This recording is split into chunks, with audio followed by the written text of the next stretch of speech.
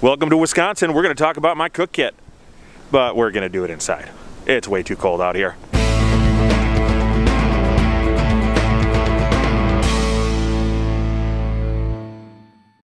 What's going on, guys? My name is Dan. I love hiking, I love backpacking, I love gear, and if you love that stuff too, would you consider subscribing to this channel? Because that's what this channel is all about. Today, we're talking about my cook kit. I wanted to do it outside really bad. It is literally zero degrees and the temperature is dropping. Uh, the forecast for tomorrow is negative 18 degrees Fahrenheit, and it's supposed to be 20 to 25 mile an hour winds. The next two days of my kids' school are already called off, so I, I was just like, I can't even think about cold like that. So I came into my nice warm house here, set up all the lights for you guys, set up the camera. Um, I've just got a few minutes to film before I got to head out. But I've gotten a ton of questions about my cook kit. You know, uh, the type of pot I use, from the stove I use, what kind of fuel do I use, what kind of spoon do I use, all that stuff. And uh, the most common question I've got is about my cook pot. This is my cook kit. It came in a really nice stuff sack, the pot did. I took that stuff sack, I got rid of it, and I just used just a regular rubber band to wrap around my pot to hold it together. That's actually worked really, really well. Maybe if you have a pot that has a lid that doesn't snap on like mine does, that may not work as well for you because that lid may slide around. But in my situation, the rubber band works great. I can toss this into my food bag if there's enough room in my food bag because sometimes on longer trips, I'll take more food with me and there's not a ton of room in there. So uh, this will kind of sit off to the side in my bag. It stays together. This rubber band keeps it on there just fine.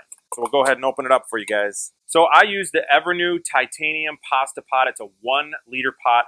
The reason I love this pot so much is because it gives me more than enough water to have those Mountain House meals, Packit Gourmet meals, whatever meals you're using, those dehydrated meals. Usually they take two cups of water. Mine holds four cups of water. So that gives me enough water to pour into the bag, and it also gives me enough water for a cup of coffee, or if I bring my kids with me, which often happens, I've got water for them, for whatever they're eating, for my wife, for whoever. It's called a pasta pot because it's got straining holes on the top. So I hiked with a buddy of mine who had a Jetboil. He had one of those cool lids with all the holes in it, and he was able to like make gourmet macaroni cheese on the trail. And I was like, I, I want to be able to do that. So uh, that was what drew me to this pot. It's got a nice little hole over here, so that way when the water's straining here, it does it quickly because it can bring air back into the pot so it doesn't slow down. And then it's got also the little lip here so I can pour out liquid really easily into those Mountain House containers. That's like the most dangerous part when you're pouring that boiling water into your Mountain House bag, Packit Gourmet bag, whatever, is that that water, that boiling water, you get burned on the trail, that's not fun. The big reason why I love this pot is not just for capacity. I love it because it's got the markings right inside here. I love it because it has a lid that snaps on really, really easily, really, really tightly. And the lid comes off extremely easily. If you take your finger back here and you just slightly push up, it pops right off. Very easy to take off.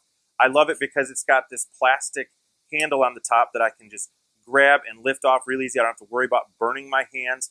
And it's got this silicone handle. So even though titanium gets really, really hot, I can grab this and not worry about burning my hand. The bottom of the pot is a very wide base, so it'll actually cook faster. The water will boil faster because the stove, that fire, is got more area to hit, so it's more efficient and it will just cook and boil much, much quicker. I will tell you this, this pot is really expensive. It's not a cheap pot at all. It runs about $70 on Amazon, and Toaks is probably, for value purposes, a much more reasonable price. But because I backpack so much and I bring my family and I go with friends, this pot just works really well for me. Everything that I bring fits nicely inside of this pot. So you can see inside this pot, I have a human gear duo spoon. It comes apart. It snaps together. It fits easily inside of a bag. It weighs really not much at all. It's really, really durable. And the other thing I like about this that I don't think people talk about too much is that the edges of it are slightly concave. So you can almost use it like a knife. So if you needed to, you could actually slice cheese. I mean, it's not sharp enough where it's going to cut your hand by any means. But even the sides of the spoon, it's got a little bit of edges here, and it's easy to, you know, slice sausage, slice cheese, that kind of stuff. All right, we'll talk about my stove real quick. This is a BRS knockoff. I have a BRS stove, but I grabbed this one as well because I want to show you that BRS stoves are just a name. It's uh, like a, a designer of a stove. I'm pretty certain they sold the rights and the design to different manufacturers. For some reason, BRS became the popular one. This one is Fuhas? Fohas? I don't know. this one's Fohas or something. I have no idea what the name is on this thing, but it's whatever.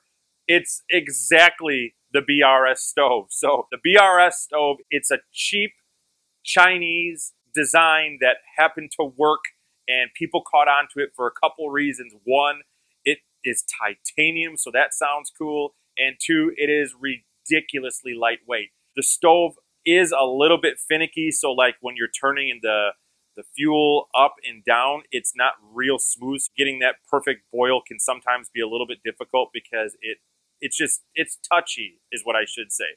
But it's still a good stove. I've used it for about a year. This is my wife's stove, and I like it, but I want something different. I'm going to be ordering the Soto Windmaster stove, and the reason I'm doing that is because it will boil faster. It's a little bit more dependable. It's got a self-ignition on there. I like that. Also, I went and just cut just a regular kitchen sponge, and I cut just maybe like an inch off the end of it, and I use this to clean out my pot if I eat in my pot, which is pretty rare. And then because titanium can be really conductive with heat. In other words, when you have a hot liquid in there, it heats up that pot really, really quickly. So when I drink my coffee, in order to not burn my lips, I went out and got this Snow Peak Hot Lips. It's just a little silicone item that just snaps onto the side of your cup or your pot, and it stops that liquid from burning your lips. It's just one layer of protection. Fun fact for you guys. This is the only item I ever lost on the trail. I actually lost it on my last trip when I was at Pictured Rocks, and the fall leaves are out, and because this is yellow, it blended right in with the fall leaves and I've never lost an item in the, all the years I've been backpacking out on the trail one time except for this, and I just happen to have two of them because one of them is my wife's. And then one item I'm hopefully going to get rid of is this Bic lighter that I keep in my pot. Not that it's heavy, but it's just one more thing I got to bring. I do carry another backup Bic lighter in my fire kit if I need it to start a fire or whatever, but this is used to specifically just light the BRS stove that I bring, and because my Soto Windmaster that I'm going to be getting is going to have a self-igniter, I won't need this anymore. And then for the fuel that I bring, I just bring a fuel canister. I bring the smaller one. This one is 113 grams. Usually they're 110 grams. This has gotten me through four day trips with no problems whatsoever. And I'm talking cooking two to three times a day, boiling two cups of water every single time.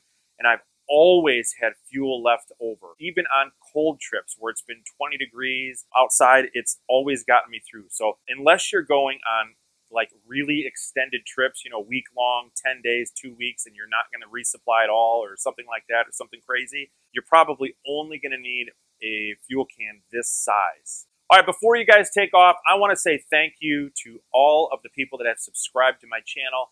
I started this channel around Thanksgiving of last year. I had no idea that anybody would ever even subscribe at all.